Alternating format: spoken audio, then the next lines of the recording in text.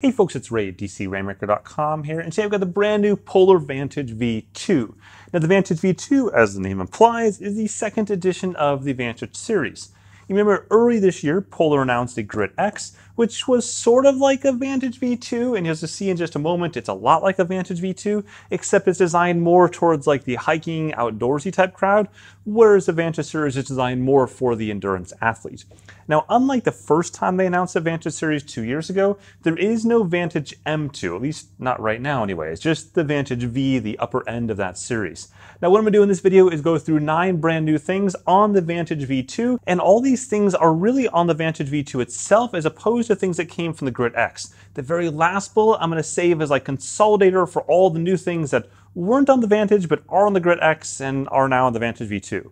Hopefully that makes sense. Now before that, a couple quick freebies here. Number one is a price is 499 US dollars, 499 euros, uh, which is about 70 bucks more than the Grit X is. Second, as you'll see, it's very similar looking to the Vantage 1, uh, almost identical from the outside. The main thing though is they reduced the weight significantly as well as swapped out the optical sensor for the same one they're using in the Grit X series.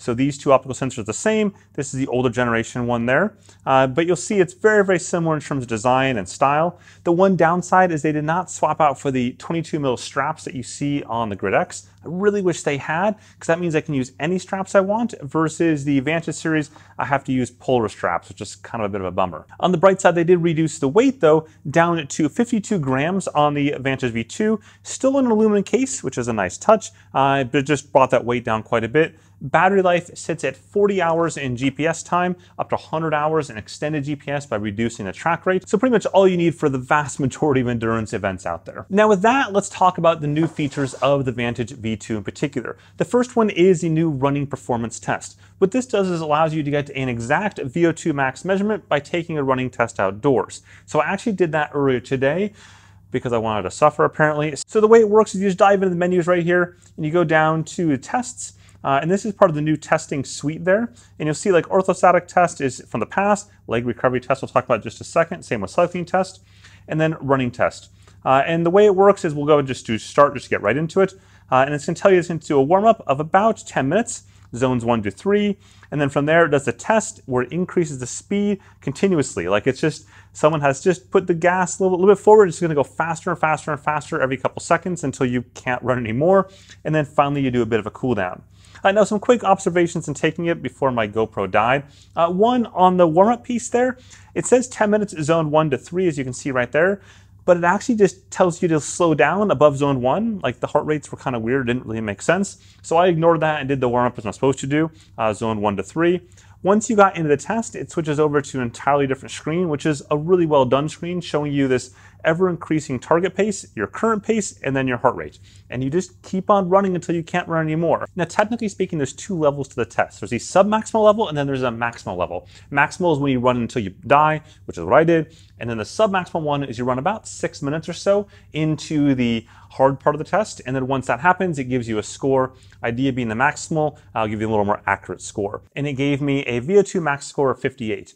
Now for comparison, I wore a Garmin 745, which is the exact same price in this, did not do any sort of test, and it gave me an automated VO2 max score of 57. So very, very similar. I would say both those are probably appropriate for my fitness level right now. Um, a little bit lower where I would be if it probably wasn't a COVID year, but overall, I think that's in the ballpark. But overall, the little testing functionality worked in general well, minus the one repeat. Now, a quick note, if you are finding this video useful or interesting or something like that, simply whack that like button at the bottom there. It really helps out this video and the channel quite a bit. So let's talk about the next one, which is a cycling test.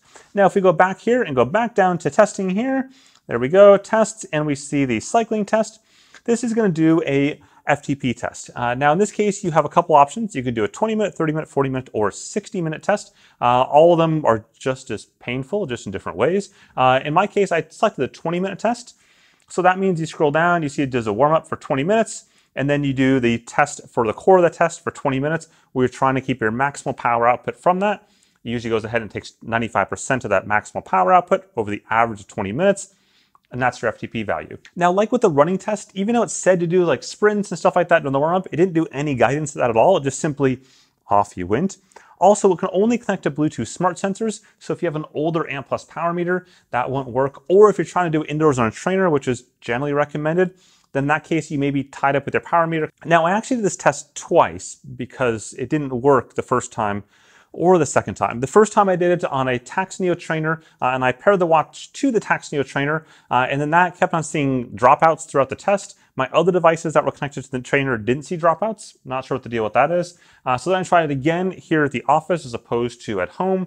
Uh, and this time I connected to my Quarq power meter, which is on the list. It's a very small list of supported power meters. And I got about 14 minutes into the 20 minute main portion of the test, the hurting part, if you will. And it also had dropouts and eventually ended the test for you. If it has connectivity issues, it ends the test. So that was definitely kind of a bummer. And I think to step back for a second with testing for VO2 Max and FTP, they can be valuable at parts of the season, but the overwhelming trend from sports technology companies these days is that the devices simply determine that as part of your normal workouts. Automatically, behind the scenes, it just does its thing, as opposed to have to set aside a day or two, in my case, to do tests for it. So while I appreciate these features, I feel like they shouldn't be like the marquee features of the Vantage V2, which is sort of what they are. Which brings us to the last test, which is the leg recovery test. And now this one is actually more valuable. Basically what you do is you go into the test again, and you choose the leg recovery test, and it has you jump three times.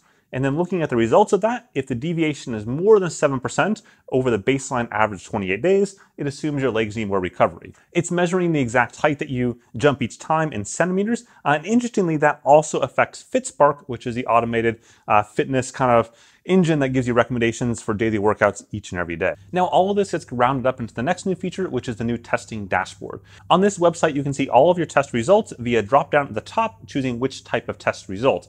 And then you'd see this plotted over time and the trends within that. This is actually a pretty good way of visualizing it. And certainly like we see Garmin has something similar where you see these data points within their app like 18 layers down, but this is a much cleaner way of showing this data over longer periods of time uh, than just a bunch of data points way down deep in an app. Okay, next on the list is the new music controls. So in order to access that, you simply swipe up there from the bottom, swipe up there from the bottom, and you hit play, and it simply controls music on your phone. Now, keep in mind, there is no music storage on the Vantage V2, so it's only controlling music on your phone. In this case, it's Spotify, which is kind of cool because it shows a Spotify logo at the top there. It'll also show like the Amazon Music logo. It's a, it's a nice little touch. I can skip here, right there, skips the next song, Pretty straightforward stuff. I can tap that volume icon at the bottom there, increase, oops, sorry, increase the volume like this. You can see it changing that at the top. Uh, I'm gonna stop this, go back down before we get a copyright violation. Very, very straightforward stuff. Uh, there is, again, no music storage on this device. It's just controlling it here. Basically the same controls you would normally find on a pair of headphones, but now on your watch itself. Next on the list is the ability to customize the dashboard views. These here are the dashboard views, steps and training status, uh, heart rate, and so on. Now you can go and choose which ones you do or don't want. Simply hit the settings button on the bottom left-hand side there, go on down, and watch face views. There we go. And you can choose which ones you want enabled or not enabled. So for example, we can re-enable that latest training sessions one, save my views, go on back, and then now we'll find latest training sessions somewhere in here. Let's see if we can find it. There we go, right there. So you can customize these. Previously you couldn't. And that actually brings us to a new training dashboard, which is down here. We'll find it. There we go, right there. This colorful one right there. This is showing you your training time by zone each week. It's a handy little thing. Uh, so I can go into that and I can see a little more detail about that. It's on Tuesday right now, so I don't have a ton of hours on this yet, but you can see an hour and 55 minutes. I've only really got two workouts here. One was indoors and one is outdoors, just a short run a bit ago for that running test. Uh, and you can see the zones. And what's cool, if I can scroll down the bottom, I see last week, so I can look at last week's time. There we go, 8 hours and 20 minutes.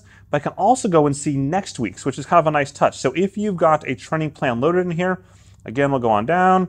There we go. Next week, this is where if I had training plan loaded, I could see the split up of zones and those workouts into next week. So again, it's kind of a nice touch and a way to separate this from just being a historical thing to here's what's coming up over the next week. Now, next up on the list is a consolidation. It is basically taking this watch, the Polar Grit X, and just stuffing it inside the Vantage V2. By that I mean all of the new features that you saw come on the Polar Grit X are now on the Vantage V2. So in particular, compared to the original Vantage series, that is the following list of things. Uh, number one, hill splitter. So that's where you can go ahead and basically gives you automatic hill splits as you do hill repeats. It doesn't predict what's coming. It doesn't show you like here's the route and here's how big the hills and all that kind of stuff like you'd get from Climb Pro or something like that. This is just really useful for picking a random hill, going up and down a bunch of times. It's a nice thing though, I, I kind of like that. Next is FuelWise. This allows you to go ahead and get uh, nutrition alerts mid-workout for carbs and hydration. Uh, those are separate buckets, of course. Uh, pretty cool stuff. I talk about these features, by the way, all these Grit X features in my Grit X video. You can see that up in the corner there. Next, there's energy sources. Basically gives you a breakdown at the end of the workout of the energy sources for that particular workout and allows you then to plan for that better for next time ideally using FuelWise. And then with that, they also added the weather widget, uh, which is in that widget role that we saw there, the dashboard view, if you will, on the watch itself. And then finally, there is commute navigation. Uh, so turn-by-turn navigation was added with the Grit X. Uh, it also now works on the Polar Vantage V2 as well. Now for this last item, there's actually two new items built into this but they're not here today. These are things that Polar says are coming by the end of 2020. Uh, and so I've got my list over here. It is number one, power-based training targets, which is to plan power-based phase training targets in Polar Flow and transfer them to your watch. So that's coming up. And then two, zone pointer for power and speed zones, uh, which will help you stay in the right target zone when doing power or speed zone based workouts. Uh, so both of those are coming to the Vantage V2, again, sometime before the end of 2020. So those are the new things. But let's talk about the accuracy. Because if you're buying a watch like this, you want it to be accurate. You want the optical heart rate sensor and the GPS side of it to be accurate. And for that, we're gonna jump over to the computer and look at some of the details there. Okay, now taking a look at the GPS and heart rate accuracy, I've got a massive section in my written in-depth review where I go into many, many runs and rides and all sorts of stuff like that. Uh, but I want to kind of touch on a couple things. In general, GPS accuracy is pretty good. Comparing it against the Apple Watch Series 6, the Garmin Forerunner 745, the Fitbit Versa 3, uh, it's definitely pretty good. It's towards the upper end of those in almost every single case. So I don't want to harp too much on GPS accuracy because the fact that it was pretty much just fine. You see, like here's a good example where uh, the Vantage V2 beat the 745 and the Fitbit Versa 3, but then just a few moments later, the 745 and the Versa 3 beat the Vantage V2. But those are sort of like the extremes. In most cases, it was just sort of right in the middle of the pack, doing just fine. When I look at heart rate accuracy, it's a little bit more variable, and it's very similar to what I saw with the Grit X. Uh, it's not bad, but it's not great. I think in general, the original Vantage series sensor is better, uh, and it's certainly not as bad as a Fitbit Versa 3 that you can see here on the screen, but there are many times like highlighted in yellow right here where it just simply peaks a little bit and spikes and it's not correct. And there's also a few cases like in yellow right here as well, where it just has these little odd dropouts and whatnot, which aren't correct either. And when I looked at road riding, uh, you can see here in hot pink, it's basically just a pop pink mess, which isn't unusual for optical heart rate sensors on the bike, but this is particularly bad. On the flip side, indoors on an indoor workout, it was basically just fine in line with every other unit I had on me at the time. So overall, I would say optical heart rate isn't great, but it's not bad. It's just kind of meh, meh. And then on the GPS side, it's mostly pretty good. No, no major outliers, good or bad uh, in either case. Okay, so accuracy all covered. Where do I stand on this watch? And you know, this is a nice, modest upgrade. It's not a big upgrade. It's not like shooting for the stars. It is a collection of largely software-based features um, that are bringing the Vantage V series things from the Polar Grit X. By the way, Polar says that the Grit X is not getting these new Vantage V features, the ones I talked about earlier, so keep that in mind there. Um, question is, would you pay for this over competitors' devices, or would you upgrade from the Vantage V1? That's really up to you. I was sort of hoping to see a couple more core features like standout things. Um, I think while the testing is valuable, I think the industry has kind of moved past that model a bit. Uh, it's again, automated testing as opposed to just like statically doing a test and setting aside days for that test. It's, it's kind of becoming more of a legacy thing. Um, so I'm not really sure that makes a ton of sense. And even if it was, I'm not sure if that should be like the marquee features of this watch, which it kind of is.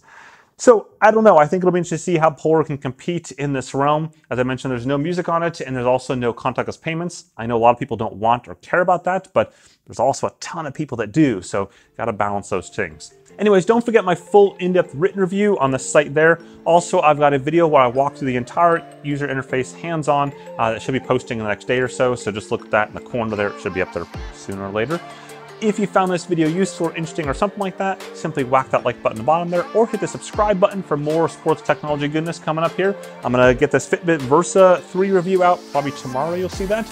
Uh, and so there's gonna be even more after that. With that, thanks for watching. Have a good one.